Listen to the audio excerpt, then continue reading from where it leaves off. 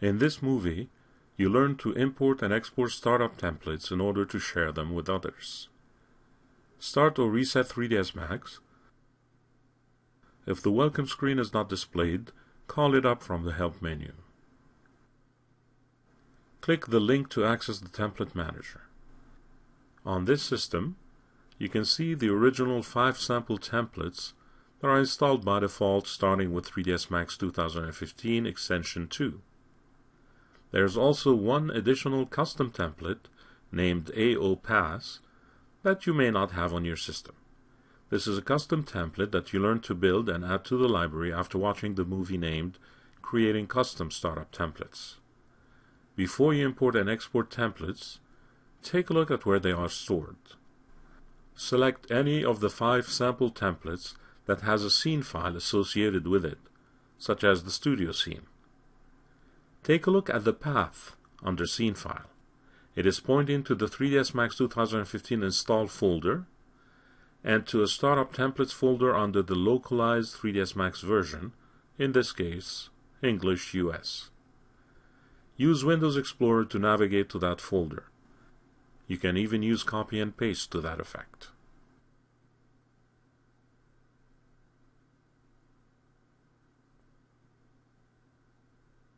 In this folder, you'll find all the files pertinent to the five sample templates. These include thumbnail images and a series of XML files that store settings information. Some templates may have additional XML files based on the options you've chosen. For example, the studio scene has a View Settings XML file because this option is enabled in the Template Manager. It doesn't have a ViewCube XML file because that option is disabled. The architectural scene, on the other hand, has both XML files because both these options are active. There are also four subfolders that store the Startup Max scene files and any associated texture maps.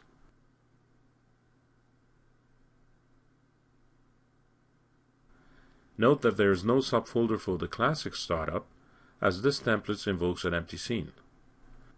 However, note that the data for the custom template, AOPass, is nowhere to be seen.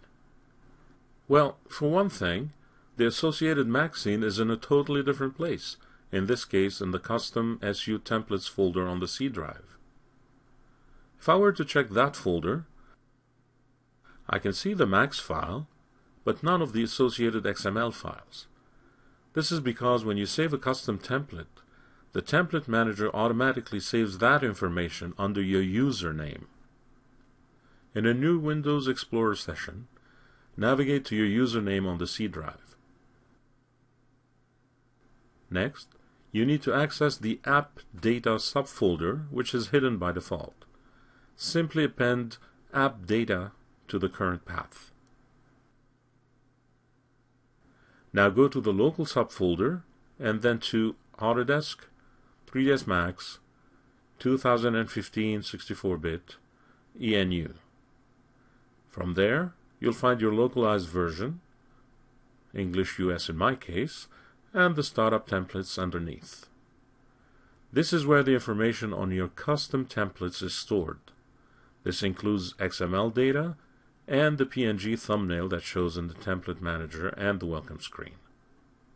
Still, the XML data and thumbnail is in one place and the startup Max scene in another.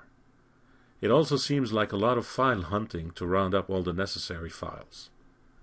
This is where import-export comes into play.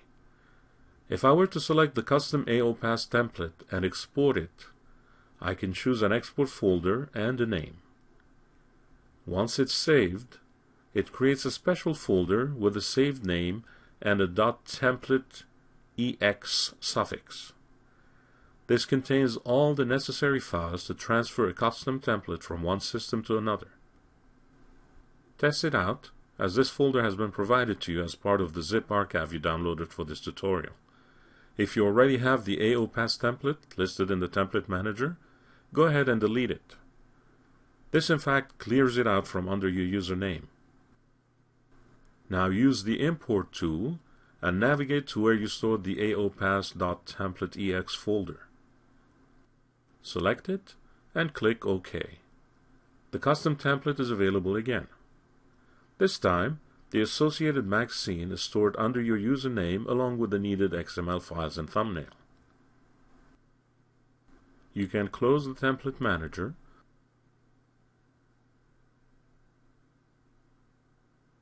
or if you like, you can import another custom template that's been provided to you. It is named Turntable and is part of the files you downloaded for this tutorial. It is meant for product design rendering in a turntable style, but really can be used to highlight any model you can potentially conceive. The scene uses the mental ray renderer, and mental ray spotlights in a three-point lighting scenario. There's a red helper that's animated to rotate 360 degrees, and a sample teapot linked as a child object. You can, of course, hide or delete the teapot to make room for your own objects. When you create or merge your own models, you can scale them to size, and simply link them to the turntable helper so they can rotate with it.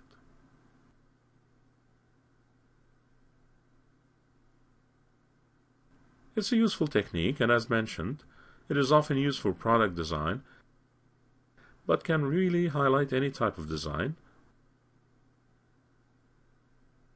from architecture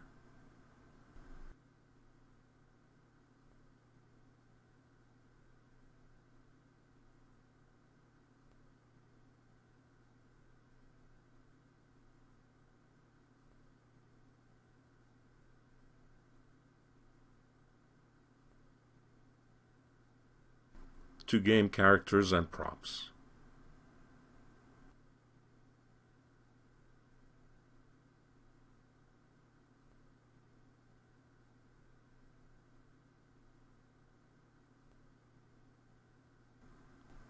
You now know how to export startup templates you create or import ones provided to you or found online.